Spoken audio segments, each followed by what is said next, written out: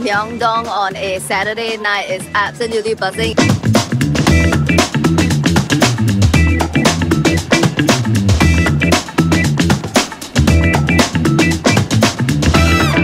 This is a really fun and exciting area full of makeup, fashion, and so much yummy, yummy food. Follow us as we travel around Myeongdong and show you some of the most popular eats in this area. Let's go. So today we're in front of Isaac Toast and Coffee. Um, apparently the toast here is very, very yummy. Vitaly's already in the queue. Let's see how it goes. Only five items on this menu, but apparently they're all popular, especially amongst the locals.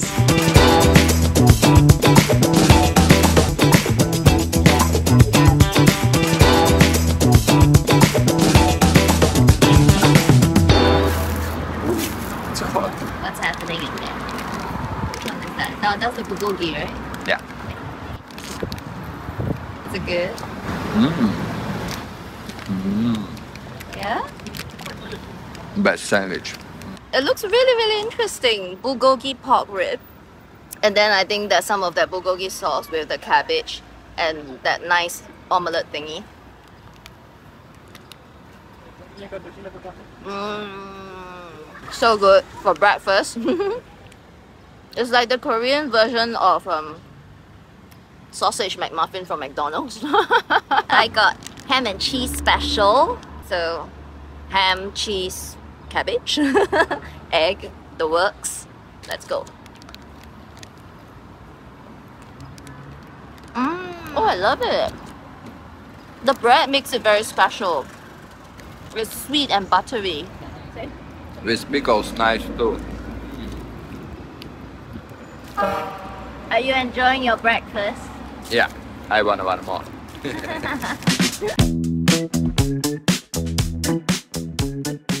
Korean kalguksu, knife-cut noodles, is famous and so is Myeongdong Kyoja, a family-run shop serving up kalguksu and mandu dumplings so good, they've earned their Michelin approval seven times, so of course we had to try. Check out those mouth-watering knife-cut noodles in hearty, meaty broth. Mmm.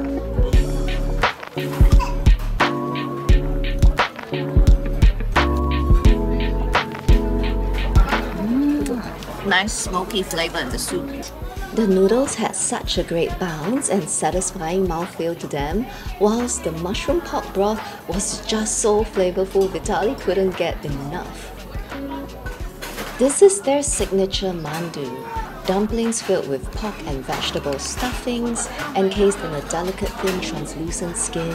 It literally exploded with hot, hot, flavorful juice when I bit into it. So good! Right, so this place has a long history of noodles and dumplings. So, you know, they only have four dishes, but they're tremendously successful. But for me, I think the dumpling wins the top prize in this establishment. It's really good.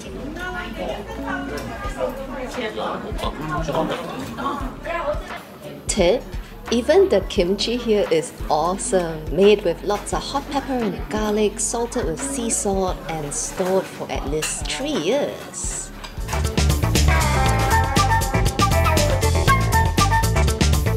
The original Milky Bee Rose ice cream in Myeongdong has closed permanently, but everywhere there's still gelato rose ice cream on sale. Aren't they so pretty? We found these little beauties at Sao Bakery, but actually, Vitaly really loves choux pastry stuffed with fresh airy whipped cream, so in the end we ended up going for one of those.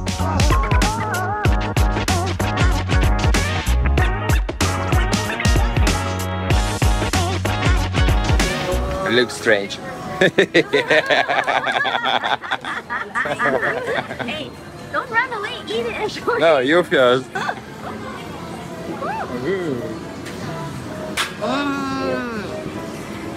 Crispy and the cream is cold and tasty, very nice. Mm.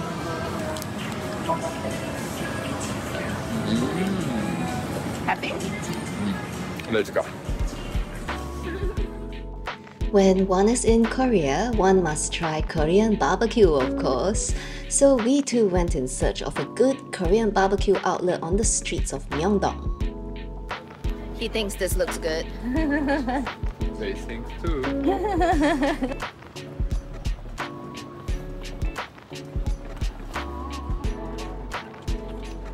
Eventually, we ended up here, Ryuk So this is supposedly a Korean barbecue outlet popular with the locals, not so touristic, and famous for their premium Jeju Black Pig specialty. So of course, we got the Jeju Black Pork Belly.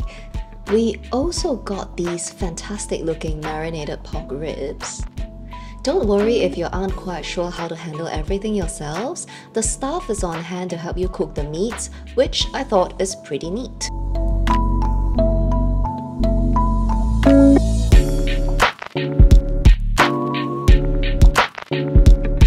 So the meats come with an array of dips, a touch of salad, and sashimi leaves for wrapping. So grab a sashimi leaf, and then a hunk of glistening pork belly. Give it a good dip in some sauce. Add some salad if you like. Roll it all up with your chopsticks. Look at that. Isn't that just mouth watering? The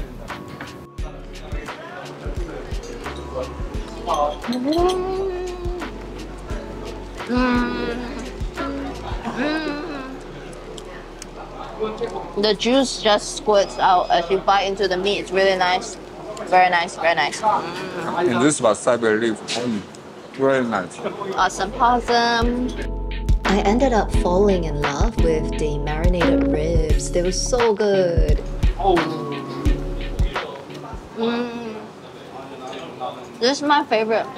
This is so juicy and like with a really nice marinade. Very, very tasty.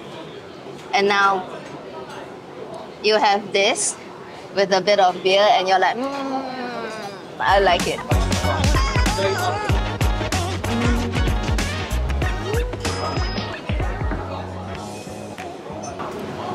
We flew from Bali to Seoul at the end of August, just before autumn set into Korea.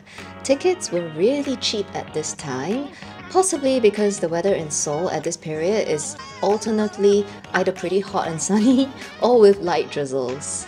Still, Myeongdong at night never stops going, even with light rains. Thankfully, the drizzle never lasts for long anyhow, and certainly didn't stop us and the rest of the night revelers from exploring Myeongdong's buzzing street food stalls.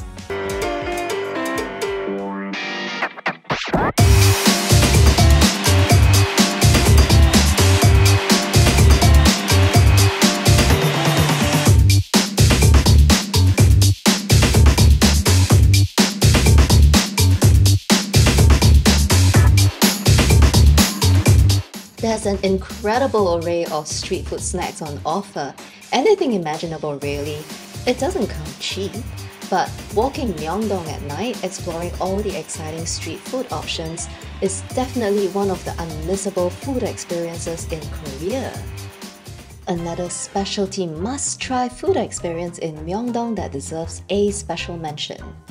Raw marinated crab, ganjang gejang available right up this unsuspecting little stairway at the famous Old Odarijip. It looks quiet on the outside and then you'll find there's actually a queue. A long, long queue. We were lucky we came early and we got seated quite quickly. Here is that incredible raw crab marinated in amazing soy sauce made with oriental medicines, fruit, and seaweed. We got the M-size crab set, which comes with banchan, the side dishes, rice, a kimchi stew, steamed egg, plus we ordered a seafood and green onion pancake. Mmm. Apparently, they ripen the crab with marinade for 7 days at low temperatures in earthenware, a traditional Korean method to get this incredible taste that rocked my world.